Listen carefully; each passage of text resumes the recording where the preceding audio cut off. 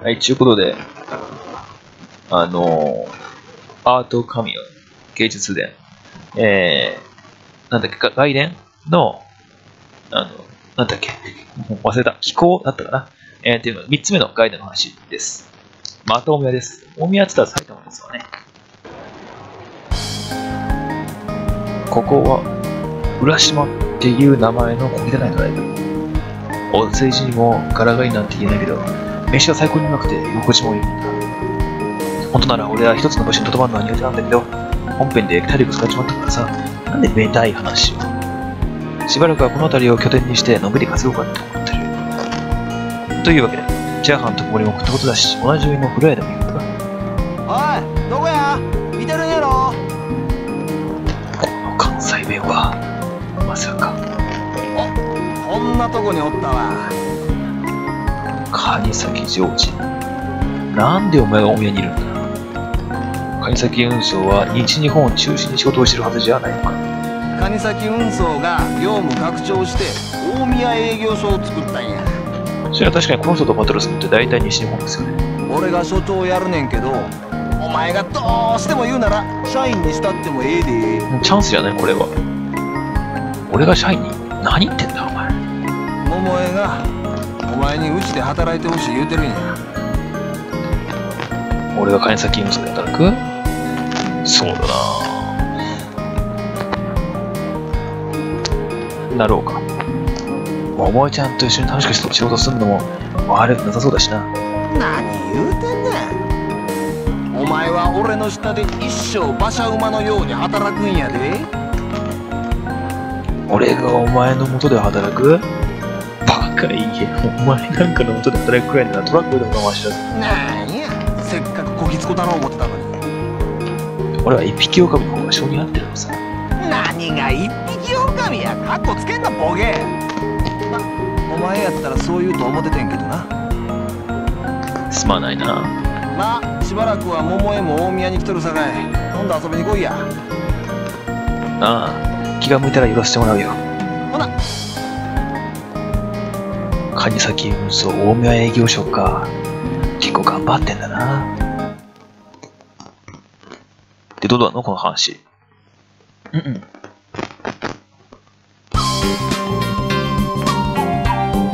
おお。これなんていうの雪春でいいのかな？雪？じ。わかんないな。久しぶりだな。まあな。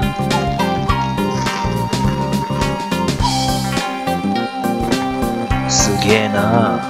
この向上心すげえよ。し。お前がどれくらい成長したか見せてもらうぜ。何を運ぶんだ？ホタテ美味しいよね。ついホタテ運べばっちゃうんだよ。なこれはそうだし。よし。出発だ。ね。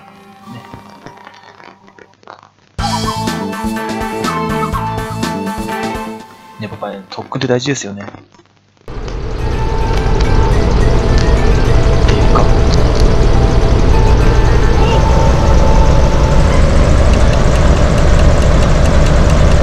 回はなんですねあの今までの概念のあれと違って。